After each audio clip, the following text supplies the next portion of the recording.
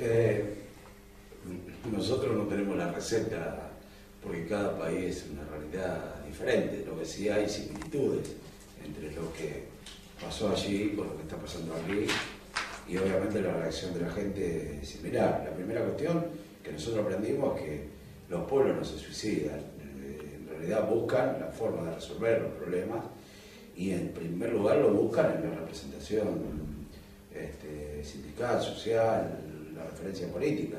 Si esa referencia no está a la altura de, resistir y de enfrentar el ajuste, se da su propia organización.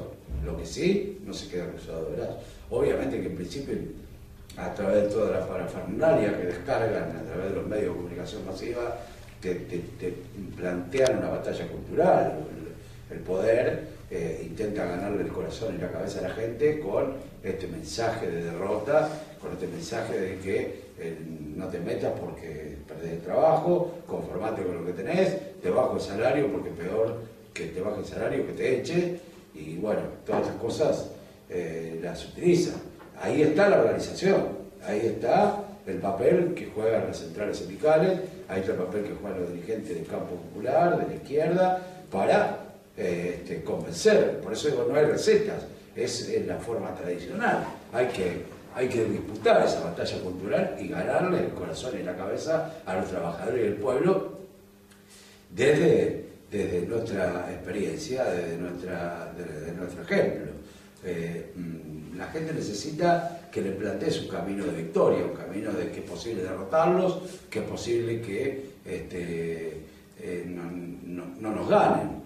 Eh, y obviamente si te parás frente a una asamblea y lo que te planteas es que, bueno, hay que prepararse para lo que viene, que nos van a destrozar, que nos van a echar, que nos van a bajar.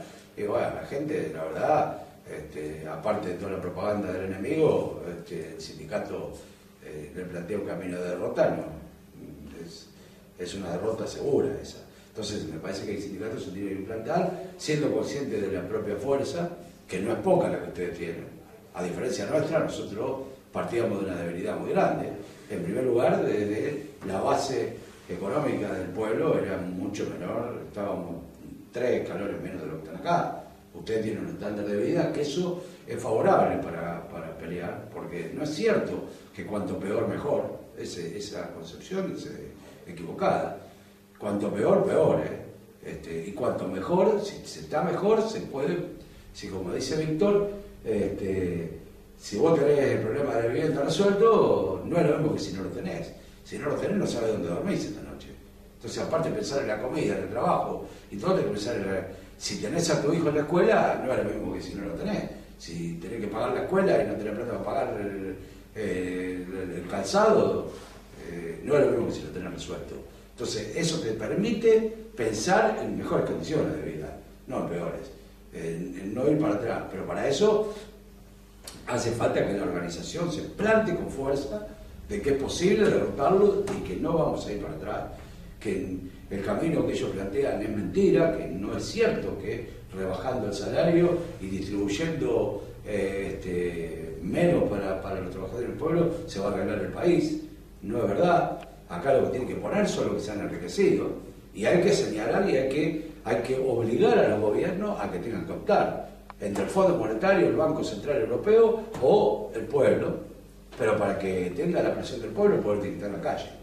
Y para que el pueblo esté en la calle, las organizaciones no alcanzan con los afiliados al sindicato nada más. Está bien, eso es una base principal, fundamental, tener a, los afiliados al sindicato convencidos de que vamos a la pelea y que vamos a, a resistir y que no vamos a permitir que no nos pulvericen las conquistas alcanzadas hasta ahora, que no queremos ir para atrás. Eso es, muy bueno porque si uno no está convencido no puede convencer a nadie. ¿eh? Entonces, si uno está convencido de que es posible la victoria, convence a los demás, pero también hay que convencer al pueblo, hay que convencer al resto que no está en el sindicato, hay que convencer, no digo a la derecha, hay que convencer al pueblo este, que no es ni de derecha ni de izquierda, que quiere vivir bien, que quiere resolver, y hay que convencerlo que para, vivir bien hay que pelear. Hay que convencerlo de que, este, y creo que es importante pensar en que el sindicato convoque a otras fuerzas. acá eh, ustedes tienen la mayoría sindical, junto con la otra central, con la... Eh, en realidad, eh, sabemos lo, que significa comisiones y UGT que aparecen como dos monstruos inmensos que tienen todo el poder sindical. Pero como dice, como dice, decimos allá en Argentina, decía San Martín, que era el líder de nuestra este, revolución libertadora, eh, cuando se los mira de rodillas se lo parece mucho más grande. Y en realidad no son tan grandes. Este, cuando juntamos a los trabajadores, al pueblo, ese poder es grande.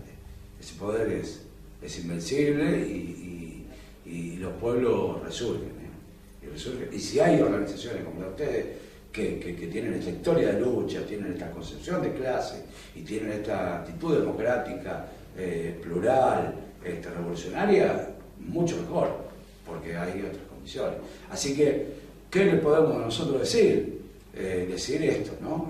Abran, convoquen este, al, resto de las fuerzas del campo popular, de la izquierda, para pelear juntos, no se aíslen, trabajadores solos, defender la seguridad social no se defiende solo con los trabajadores de la seguridad social, también con el beneficiario de la seguridad social que no, que no es afiliado al sindicato. y, me parece que el mensaje tiene que ser un mensaje de victoria no, no de, arenga eh, barata, ¿no? De, no, no, con fundamento, con, ideología, con cultura, este, discutir y hablar mucho con la gente, mucha asamblea, mucha participación, mucha este, presencia del sindicato del pueblo.